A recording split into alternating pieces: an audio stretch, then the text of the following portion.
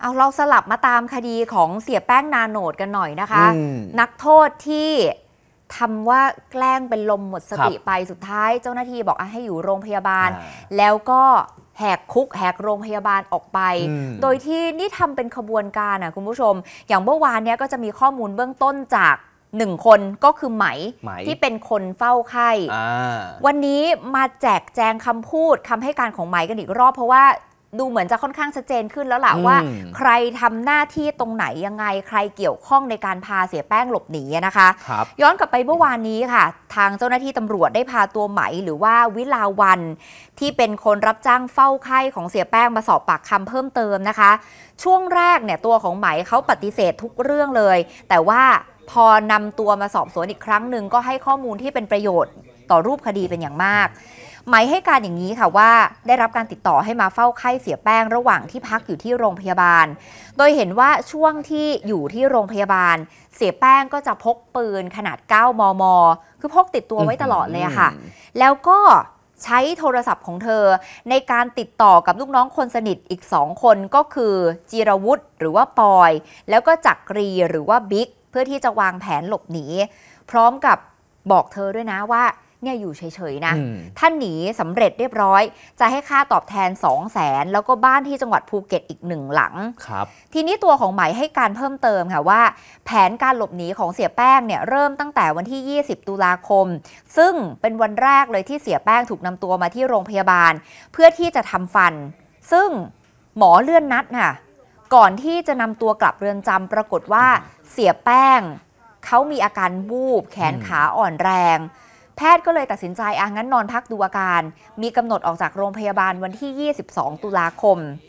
ไหมบอกว่าตั้งแต่วันแรกก็คือ 20 ตุลาคม เสียแป้ง พยายามใช้ครีมตัดเหล็ก ซึ่งลูกน้องเอามาให้นะคะครับเอามาทดลองตัดกุญแจโซ่ตรวน ที่บอกว่าทำอยู่ใต้ผ้าห่มอะอืมนี่คือห้องผู้ป่วยรวม ฉะนั้นทำอะไรต้องทำแบบเหมือนซ่อนๆหน่อย แต่ว่าใช้ครีมตัดไม่สำเร็จอะพอวันรุ่งขึ้น 21 ตุลาคม เสียแป้งบอกว่า ให้ผู้คุมเปลี่ยนโซ่ตรวนให้ใหม่ได้ไหม เหมือนมันเจ็บอืมลักษณะนี้ผู้คุมก็เอาโซ่มาเปลี่ยนให้ แต่พอเปลี่ยนปุ๊บ ไหมบอกว่านี่คือพันธนาการแบบหลวมมากๆครับก็พยายามจะจินตนาการว่ามันมันคืออะไร คือมันอืมเข้ากับอย่างนี้ถอดง่ายเหรอครับหรือยังไงนะคะ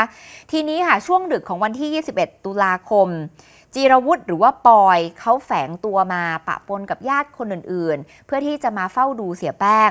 ก่อนที่บิ๊ก จะโทรศัพท์ตามให้ปอยเนี่ยลงไปเอากุญแจที่อยู่ด้านล่าง หลังจากนั้นไม่นานปอยก็เอากุญแจมาให้เสียแป้ง คราวนี้ใช้กุญแจไขโซ่ตรวนออกมาได้ง่ายดายเลยอืมก่อนที่จะเปลี่ยนเสื้อผ้าแล้วก็เดินจากอาคารผู้ป่วยไปยังรถที่ในบิ๊กรออยู่ ซึ่งเป็นภาพที่เราเห็นก็คือลงมาจากลิฟต์เดินออกมาอย่างนั้นน่ะนะคะ แล้วก็ขึ้นรถหลบหนีไป ลองฟังดูค่ะ เราเห็นตอนเขาไขไหมคือว่ากลุ่มบ้านั่นน่ะอ่านั่งอ่าขายอยู่แต่อ่าว่านานไหมนานไหมไม่นานอ่าเสร็จแล้วพอหลุด เขาบอกว่า ถ้าไม่รู้อะตัวเดียว ให้เอาครีมตัวใหม่ขึ้นมาอ่าให้ลงไปเอาแต่นี่หลุดไหมแต่นี่หลุดไหมหลุดอ่าพอหลุดแล้วทำไงเขาทำไงต่อเขาบอกว่าให้รอข้างๆแป๊บนึงนะอ่าแล้วก็ไปบอกว่าแล้วทำไมอะมันจะเข้าห้องน้อ่าำเดี๋ยวก่อนให้เสร็จเรื่องก่อนอ่าพอเสร็จไก่บอกว่าได้แล้วให้โทรไปบอกวิกให้เราใช่ให้ใช้โทรศัพท์เราใช่เครื่องนู้นเครื่องเครื่องของเขาปล่อยแป้งเนี่ยเอาห้องนู้นไปอ่าแล้วก็ให้โทรบอกวิกบอกว่าได้แล้ว เนี่ยจากที่ฟังเนี่ยคุณจอยท่านผู้ชมค่ะที่หมายเล่าให้ฟังเนี่ยเหตุการณ์เป็นฉากๆมันมีคำถามเกิดขึ้นเยอะมากเลยนะคุณจอยท่านผู้ชม ตั้งแต่วันแรกเลยอะค่ะเออพี่อาร์มที่นัดหมอครับแล้วหมอเลื่อนนัด อืมแล้วทำไมยังมา หรือไม่รู้หมอไม่ได้แจ้งล่วงหน้าหรือยังไงคะคือตามปกติโอ้โห การที่นักโทษในเรือนจำจะต้องได้รับการเลื่อนนัดอื้อหือจากคุณหมอเนี่ยค่ะมันต้องเป็นเรื่องใหญ่นะใช่ต้องมีการแจ้งไปที่เรือนจำ เพราะถูกากรไหมจะพานักโทษออกมาทุกครั้งอ่ามัมันโอ้ยมันต้องมีการควบคุมทุกใช่อย่างอย่างแน่นหนานะคะอะปรากฏว่าบอกว่ามีการเลื่อนนัด แต่อัพพามาโรงพยาบาลแล้ว สุดท้ายทางด้านของเสียแป้ง ก็บอกว่ามีอาการวูบอืมแขนขาอ่อนแรง ก็เลยให้นอนพักดูอาการนะครับ แล้วที่น่าสงสัยก็คือว่าอย่างครีมตัดเหล็ก ที่บอกเอามาลองตัดกุญแจโซ่ตรวนเออแต่ครั้งแรกตัดไม่สำเร็จค่ะแล้ววันรุ่งขึ้น ไปแจ้งผู้คุมขอเปลี่ยนโซ่ตรวนใหม่คำถามคือ ตอนผู้คุมเอาโซ่ตรวนอันใหม่ไปเปลี่ยน ได้สังได้สังเกตไหมมว่าไอ้โซ่ตรวนอันเก่าอะมันมีร่องรอยถูกครีมตัดหรือเปล่า นั่นน่ะสิเออแล้วครีมเอามาจากไหนคะเออนี่พกมาด้วยหรือหรือไหมเอามาตรงเนี้ยเธอก็ยังไม่ได้ให้ข้อมูลชัดเจนนะครับ แค่บอกว่าอะอย่างกุญแจเนี่ย มีบิ๊กกับปอยใช่ไหมที่ประสานกันแล้วครีมล่ะใครนั่นน่ะสิใครหยิบขึ้นมาให้ นี่ฮะแล้วคำถามสำคัญก็คือตอนที่เกิดเหตุทั้งหมดอืมทางเจ้าหน้าที่ราชทัณฑ์อยู่ไหน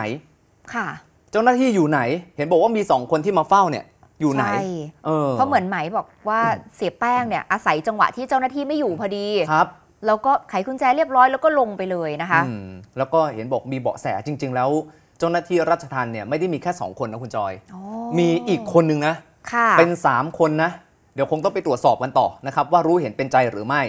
แล้วจากข้อมูลของไหมเนี่ยทางด้านของพลตำรวจตรีสมชาย ซื่อต่อตระกูลนะครับผู้บังคับการตำรวจภูธรนครศรีธรรมราช ท่านก็บอกว่าคนที่ให้การช่วยเหลือเสียแป้ง จากเหตุการณ์ครั้งนี้มีทั้งหมด 4 คน แยกกันทำหน้าที่อย่างชัดเจน โดยเจรวุฒิหรือว่าปอยเนี่ยแฝงตัวมากับญาติคนไข้รายอื่น มาคอยเฝ้าดูแลเสียแป้ง และเป็นคนไปเอากุญแจมาให้เสียแป้ง ใช้ในการไขตรวนนะครับนายจักรีหรือว่าบิ๊กเป็นคนที่เอากุญแจมาให้ แล้วก็รออยู่ในรถ พื่อเตรียมการพาหลบหนี ส่วนไหมหรือวิลาวัน คนที่มารับจ้างเฝ้าไข้ที่เราฟังเสียงเมื่อกี้นี้ค่ะนะครับ แล้วก็ให้เสียแป้งใช้โทรศัพท์ วางแผนในการหลบหนี บอกว่าได้ 2,000 ใช่ไหมอะบอกบอกว่าจะได้ 2 0 0 0 0นอืมกับบ้านหลังหนึ่งที่ภูเก็ตใช่ไหมแต่ต้องหนีสำเร็จก่อนนะอ่าถึงจะนะฮะให้ แล้วปรากฏว่าอีกคนคือยุวเรศหรือหมวย เป็นภรรยาของนายบิ๊ก เป็นคนคอยประสาน โอนค่าใช้จ่ายในการหลบหนี แล้วก็โอนเงินค่าเฝ้าไข้กับไหม2,000 บาท นั่นหมายความว่าสิ่งที่ไหม ได้รับการให้สัญญาจากเสียแป้งบอกเดี๋ยวให้เงิน 2 0 0 0 0 0แล้วบ้านที่ภูเก็ตอีกหนึ่งหลังค่ะตอนนี้ได้ไปแค่ 2,000 ใช่ใช่ไหมนะฮะก็คือเงินที่หมวยโอนให้ ซึ่งตำรวจบอกว่าทั้ง 4 คนนี้สารออกหมายจับแล้ว ล่าสุดก็คือสามารถจับได้ 2 คนก็คือไหมแล้วก็หมวยนั่นเองนะครับทีนี้จากข้อมูลของไหมนะคะ ชุดสืบสวนตำรวจภูธรจังหวัดพัทลุง ร่วมกับตำรวจภูธรจังหวัดนครราชสีมา แล้วก็กองปราบ กองกำกับการ 6 ไปเข้าตรวจค้น 4 เป้าหมายที่เกี่ยวข้องกับเสียแป้ง ที่แรกก็คือบ้านพักของเสียแป้งค่ะ ในพื้นที่ตำบลบ้านแคอำเภอพัทลุง แล้วก็ไปที่บ้านพักของบิ๊กอยู่ที่ตำบลพญาขันอำเภอเมืองพัทลุง บ้านพักของหมวยที่ตำบลนาโหนดอำเภอเมืองพัทลุง แล้วก็บ้านพักของปอย ในตำบลพนังตุงอำเภอควนขนุน ล่าสุดนี่เห็นว่าเจ้าหน้าที่ไปพบกระบะ4ประตู มิตซูบิชิสีขาวนะคะ ทะเบียนกอไก่จอจาน 9049 พัทลุงอืมที่ตัวเสียแป้งเขาใช้หลบหนีครับอเห็นในภาพกล้องวงจรปิดที่ชัดเจนนะคะ รถคันนี้ปรากฏว่าไปจอดทิ้งไว้ ใกล้กับท่าเรือแห่งหนึ่งนี่คันนี้ที่จังหวัดสตูล ซึ่งมีพื้นที่ติดกับประเทศมาเลเซีย ดังนั้นคาดการณ์กันว่าเสียแป้งพร้อมกับคนช่วยเหลือ เป็นไปได้ว่าน่าจะหลบหนีออกนอกประเทศไปแล้วนะคะ ครับ ติดตาม PPTV HD 36 ได้ทุกช่องทาง และอย่าลืมกด Subscribe พร้อมกดกระดิ่งแจ้งเตือนด้วยนะครับ จะได้ไม่พลาดข่าวสารและคอนเทนต์ดี ๆ อีกมากมาย